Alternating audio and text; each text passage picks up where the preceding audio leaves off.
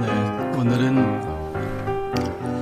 아, 오늘은 그 eStudio의 새로운 아, 이 framing 기술하고 그걸 통해서 pointing 그리고 그걸 가진 어, 새로운 그 강의 방식에 대한 것을 이제 간단히 설명하는 그걸 녹화하는 그런 과정을 보여드리겠습니다. 어, 지금 저는 이제 일반적인 이런 스튜디오, 어, 제 방이죠. 제 방에서 이렇게 약간 좀 얼굴이 좀 뚱뚱합니다. 근데 이쁘게 나오기 위해서 어, 약간 날씬하게 에, 만들었습니다. 거짓말을 할 수 없으니까 사실대로 어, 먼저 어, 고백을 하겠습니다. 자 이렇게 이제 녹화가 되는데 그 이 자료 지금 이거는 파워포인트입니다. 그래서 이렇게 아인슈타인이 칠판에 썼잖아요. 아인슈타인이 그때 이 교실에 가도 쓰고 지우고 저 교실에 가도 쓰고 지우고 했다 그러면 어, 이런 그 내용이 이제는 어, 파워포인트 같은 저처럼 이렇게 파일에서 열어서 다시 쓰고 열어서 다시 쓰고 하는 시대가 돼서 전자칠판이 나오고 지금은 이제 저는 여기다 그림을 이렇게 그리는 어, 가상 전자칠판 여기에 파워포인트가 나오니까 어, 이걸 했습니다. 어, 이 방식에 의한 강의는 강의를 하러 교실에 가고 어, 들으러 교실에 가야 했던 과거의 문화를 어, 사실상 바꾸는 어, 개념을 바꾸는 패러다임 강의 교실 학생의 패러다임이 에, 변화되는 것으로 어, 이야기할 수가 있습니다. 어, 다시 말하면 어, 수업은 교실에 가야 된다, 학교에 가야 된다라는 것이 에, 수업을 듣는 유튜브 강의가 어, 도서관에 가도 어, 지금 컴퓨터를 켜놓고 강의를 이렇게 듣고 있고 집에 오면서도 핸드폰에 보고 있는 이 스마트 교실 강의가 세상에 생겼다는 것입니다. 이미 수업 들으면 되잖아. 이거 다 알고 있습니다. 아, 이렇게 그 멋진 하이웨이 스마트 플랫폼 여기 비디오가 저기 보이는 시대가 되었는데 유독 교실은 아직도 어, 모여서 해야 된다. 그럼 그것을 어떻게 에, 하면 어, 그 스마트 플랫폼 고속도로에 차를 가지고 올라가겠느냐 여러분들의 강의를 어떻게 거기다 올리겠느냐 하는 면에서 저는 이제 이렇게 포인터를 가지고 여기 설명을 하게 되면 화면이 커지고 거기서 이렇게 마우스로 다음 장을 그 바꿔가면서 이, 이 파워포인트에 다음 장을 바꿔가면서 설명을 해서 어, 이렇게 크게도 해서 어, 그냥 제가 지금 하듯이 노트북을 가지고 차를 타고 가면서 학교에 강의를 하는 시대. 근데 거기 선생님이 에, 크게 나와서 강의를 할 수 있다 하는 방식입니다. 지금 저는 이제 이것을 페이스북으로 어떻게 했는가를 설명하기 위해서 오늘 여러분에게 강의를 하고 있습니다.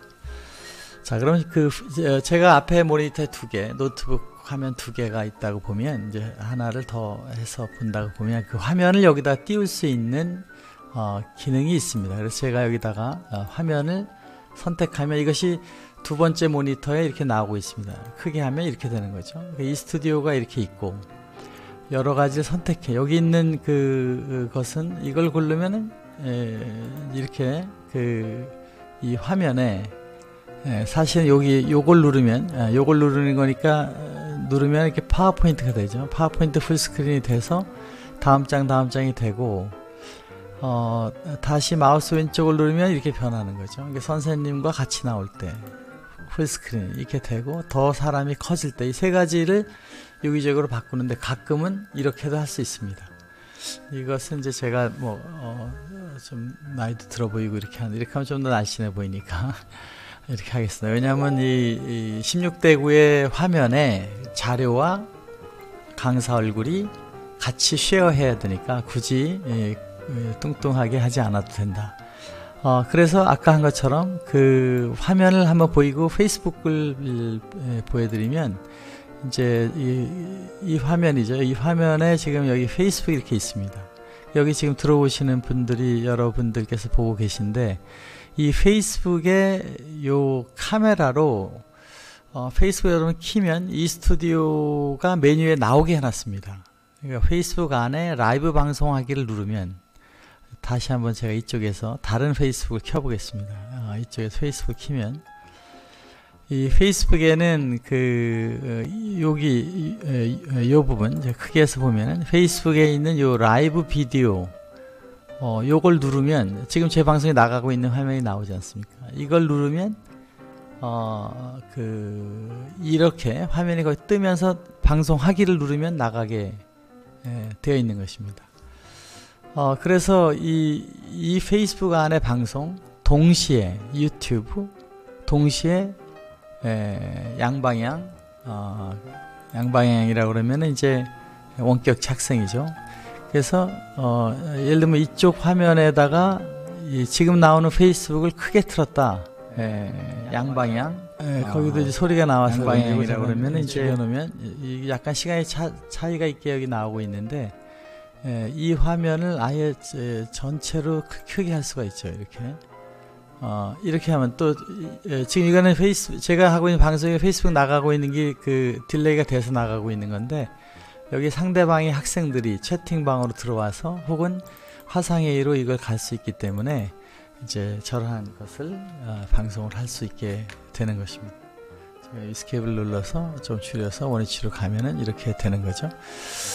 어, 이런 방식에 의한 그 어, 이야기는 지금 여러분들이 여기 보고 계시는데 강의를 제 방에서 저는 지금 이런 방에서 제 노트북에 했는데 여기 지금 저 출력 화면을 두 개 끄집어내서 어, 이 스튜디오 강의를 할 때에 교실에 있어야 할 칠판에는 전자 칠판에 있는 것처럼 파워포인트를 보였다.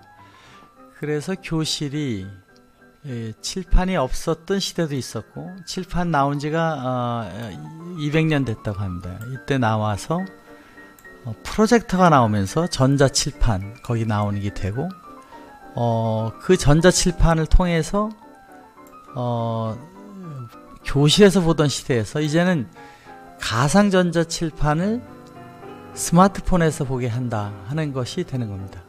어, 제가 말씀드리는 스마트 플랫폼은 구글 혹은 어, 4G, 3G, 예, 기타 이 스마트폰 2010년 이후 거의 한 60억 개의 스마트 장치가 전 세계에 보급이 되고 아마 지금은 한 70억 개 될 것 같은데 그렇게 많은 스마트폰이 있는 스마트폰은 우리는 지금 대화를 할 때 스마트폰은 다 있다는 가정에 얘기를 해도 아무런 문제를 제기하는 사람이 없는 시대에 살고 있습니다. 불과 8년 스티브 잡스가 2010년에 만든 스마트폰 뭐 스티브 잡스가 만들었다고 하긴 좀 그렇지만 그 아이디어가 전 세계에 보급이 되면서 지금 모든 사람과의 connection은 스마트폰과 와이파이로 연결되어 있다. 우리나라뿐만 아니라 중국도, 미국도, 아프리카도 연결되어 있다. 그 플랫폼에 비디오가 다 여러분도 가, 방송을 하게 돼 있는데 아직도 많은 사람들의 생각은 만남은 교실에 가서 프레젠테이션이 돼야 된다. 어, 이런 생각을 하고 있기 때문에 에, 저희가 아, 이, 이 스튜디오는 아, 이번에 에, 한 달에 만 원을 내시면 여러분들이 쓸 수 있게 하는 것이 출시되었습니다. 지금 이렇게 하는 것 외에도 여러 가지 다양한 것을 그냥 키기만 하면 여러분 파워포인트, 여러분 비디오, 스마트폰으로 찍어온 어떤 동영상이든지 여기서 자유롭게 에, 재생을 하실 수 있습니다. 이렇게 세상이 이 세상 전체에 여러분의 내용이 지금 제가 하듯이 나갈 수 있다. 아, 다, 여러분이 컴퓨터를 조금만 좋은 거, 게임용 컴퓨터라고 그러죠. 그런 걸 갖고 계시면 전 세계는 여러분과 소통하는 여러분의 지식과 삶의 이야기를 나누는 어, 그러한 세상이 될 수 있고 다림에서는 그렇게 보이기 위한 다양한 방식으로 가장 간단한 방식으로 아무런 작동자 없이 방송하면 방송국이 있어야 했고 방송을 작동하는 사람이 있어야 됐던 시대가 있었다고 하면 이제 여러분 오피스에서 여러분 컴퓨터에서 전 세계에 방송을 하는 방송국이 된다. station이 된다. personal station. 퍼스널 컴퓨터 시대가 있었다고 하면 personal station, personal 개인 방송 시대가 이제는 워드 프로세서로 글을 쓰는 시대가 아니라 동영상으로 여러분 정보를 나누는 시대가 되기 때문에 이 가상전자 칠판에는 어, 이러한 그림도 또 여러분의 파워포인트도 어, 비디오도 이렇게 자유롭게 보일 수 있게 함으로써 그것을 다 마우스 클릭 하나로 어, 나누면서 이 정보화 시대의 이야기 또 원격지에 있는 사람과 여기 있는 것처럼 어, 그냥 이렇게 에, 지금 이 스튜디오로 상대방이 나와서 보이는 화면 어, 이것이 그 여러 차례 보인 거지만은 KTX 같은 데서 지금 이 장비를 노트북에 싣고 가면서 지금 여러분 보는 장면을 여기다 상대편 장면을 여기다 넣으면서 어, 2,000km 떨어진 베이징의 에, 친구와 하는 것이 가능하게 되는데 그때 이 스튜디오라는 것은 이런 강의를 하는 데 있어서 지금 제가 하듯이 전혀 어, 메뉴를 보지 않고 또 그걸 쓰는 법에 대한 우려함이 없이 그냥 마우스로만 하면 된다. 이런 내용입니다. 또 어, 지금 여기 보이는 이, 이 펜은 이건 좌이로 마우스라고 해서 뭐 2, 3만 원짜리로 알고 있는데 이, 것을 쓰면은 이렇게 포인터로만 포인터로만 이것을 다 아, 강의를 할 수가 있고 여기서 이걸 누르면서 next slide next slide 하면서 어, 이것만 가, 지고 강의를 다 할 수 있기 때문에 여기다 그림도 이렇게 그리는 거죠. 그리기도 하고 제 코에다가 이렇게 이런 것도 하고 또 지울 수도 있습니다 이렇게. 어, 이렇게 되니까 결국 이 여기 있는 어, 몇 개의 버튼만 눌러가면서 이 포인터 강의를 가지고 할 수 있는 어, 그런 강의가 됐다는 것은 제가 이것을 교실에 놓고 포인터를 이렇게 가르쳐 가면서 강의를 하고 그 강의의 에, 내용을 가지고 더 키울 수도 있고 줄일 수도 있고 하는 것이 만들어지게 되는 그러한 수업이 이루어질 수 있다는 것입니다. 여러분, 어, 이 스튜디오 이제 새로 나온 어, 이 스튜디오 프로는 어, 뭐 장비를 사도 되지만 소프트웨어가 여러분 컴퓨터만 좋으면 어, 무료 버전도 있고 또 월 만 원이면 여러분 사용하는 모델로 1년치 계약을 하시는 분은 12년 12개월 분을 내면은 어, 쓰시다가 뭐 그 다음에 안 해도 되고 그런 것을 이번에 출시를 했고 또 어, 프로 버전 어, 그이 안에서 하드웨어로 여러 가지 노트북도 받고 이걸 가지고 교실 가서 다른 선생님이 강의하시는 거를 어, 찍어주거나 어, 또 강의를 방송해주거나 하는 모델은 어, 노트북하고 같이 해서 공급도 해드리고 있습니다. 어, 여러분 어, 다림의 이 끊임없는 스마트 강의 장치에 여러분의 지원과 사랑이 예, 필요합니다. 아, 관심을 가지시고 매주 토요일 날 어, 매주 금요일 죄송합니다. 금요일 날 3시부터 5시 2시간 동안은 저희가 레귤러한 어, 교육을 시켜드립니다. 어, 굳이 교육을 안 받아도 다 쉬운 비디오 5개만 보시면 짧은 3분짜리 비디오 서너 개만 쓰면 마음대로 쓸 수 있지만 그래도 많은 아이디어를 더 내시는 것을 도와드리기 위해서 매주 어, 금요일 날 3시, 5시 다림 가산 스튜디오에서 어, 또 저희 세미나 하실 교육실에서 어, 여러분에게 실제 만져보고 또 사신 분들에 대한 교육이 무료로 지속됩니다.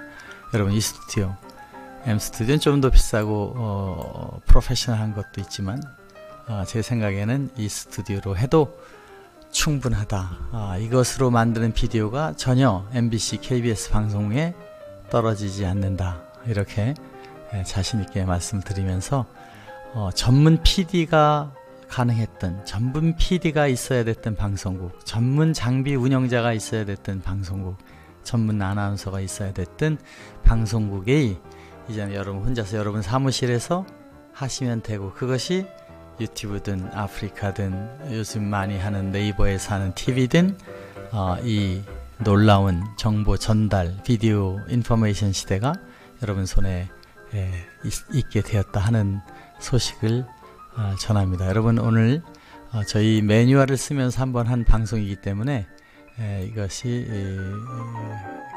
여러 가지 비디오 매뉴얼을 쓰면서 쓴, 쓴 부분이니까 이해를 해주시고 어, 이렇게 시청해 주셔서 감사드립니다. 고맙습니다.